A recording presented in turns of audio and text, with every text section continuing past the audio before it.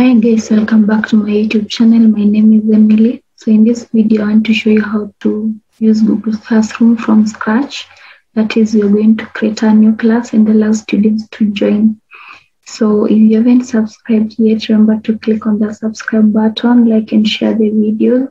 And don't forget to leave a comment. Let me know what you think. So to start, first you need an email that is valid and once you log in at the top right corner, we have the Google Apps. So you click on the uh, those icon, then look for Classroom. Once it's open, you can either create a new class or join a new class. So first I'm going to show you how to create a new class and later on show you how you can allow students to join your class. So at the top right corner, we have this plus sign. You click on it, you can either join the class or you can create a class. So we're going to create a class. Then we have um, some information here that is important for you to go through before you continue for privacy and security purposes.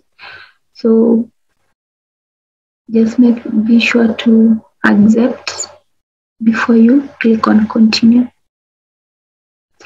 Then the next step is going to allow you to enter the details of your class. So in this case, we're going to use a relevant class like computer class.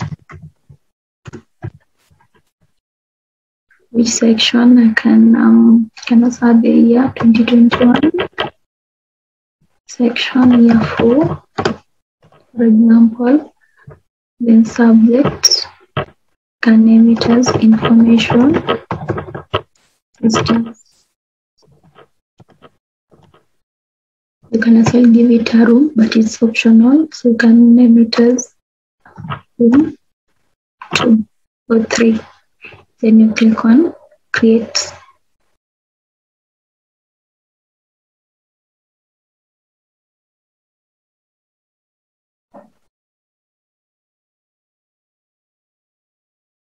So once your class is created, this is how it's going to appear from the Google Classroom platform.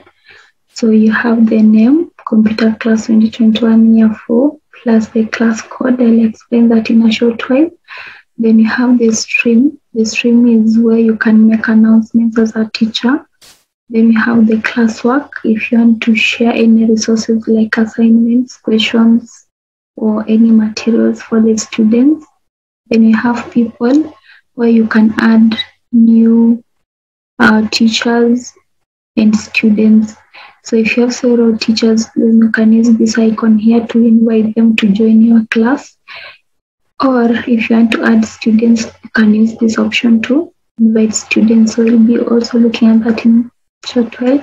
Then you have the grading section where if you have assigned any students assignment and they have submitted, you can do the grading from here. Then you also have the settings section, which you can change the details from here, or you can also pick the invite codes or turn them on and off from here. So here you have the invite link. If you want to share with the students, you have the class code, which you can say share with the students. Then um, you can either hide or display the these two. Then you have the stream section, have the classwork on the stream, etc. etc. So for you to be able to invite the students, there are three ways. You can either share this particular link to the students, or you can share this particular code with them so that they can join, or you can invite them using this particular button here. So I'm going to show you how you can invite them and how they can use the class code. So first, you're going to invite the student using this um, button. Once you click on it, you can either copy the link or just type here the email for the student. So, so student student Emma 2021 at gmail.com.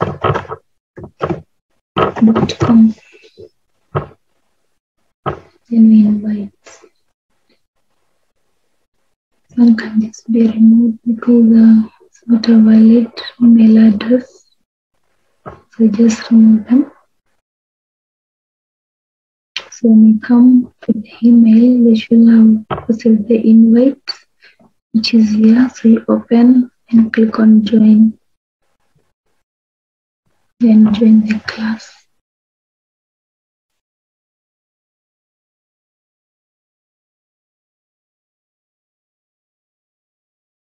Yeah, so student Emma has already joined the class. Then the other person, the other email, want them to join using the code. So you click on the plus sign, then choose join class. Then it's going to prompt you for the class code, which you already copied. So we just paste, then click on join.